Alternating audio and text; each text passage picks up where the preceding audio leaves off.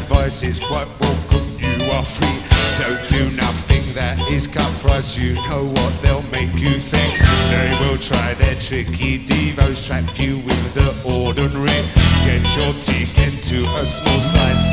The cake of